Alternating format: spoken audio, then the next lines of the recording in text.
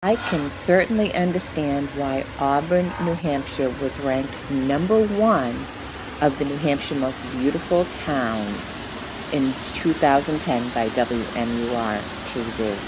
Isn't this absolutely gorgeous? This is one of my most favorite spots along the roadway in Auburn.